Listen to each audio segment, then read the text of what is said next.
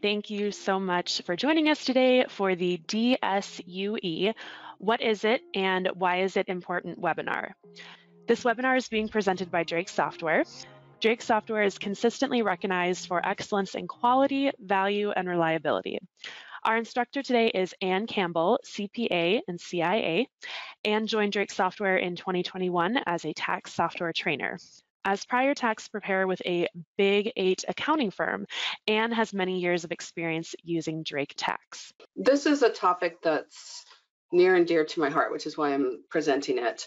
Um, the deceased spousal unused exclusion, it is um, commonly referred to as DSUE. The DSUE allows the surviving spouse of a deceased person, and again, you have to be legally married, to add the unused portion of the deceased spouse estate tax exemption to their own exemption. So uh, in general, this will help you reduce or eliminate the estate tax liability of the surviving spouse. So protect yourself and your clients, okay? Be sure to work with an attorney and timely file the 706. Um, generally, if somebody has an attorney involved, I find that the attorney wants to file it. Um, I do ask the client to let me review it before their attorney files it, because um, once in a while you find something that got overlooked. Um, and file for the DSUE, even if you think there is no way in heck that your client will ever need this ever. Um, it's just too easy to do and too important to miss.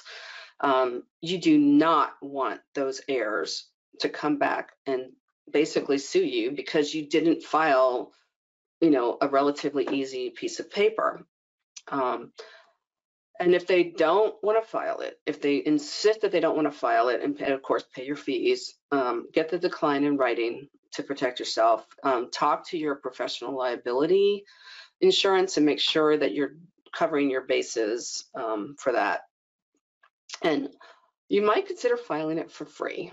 Um, I don't like to do anything for free. And of course, you need your client's approval to do it.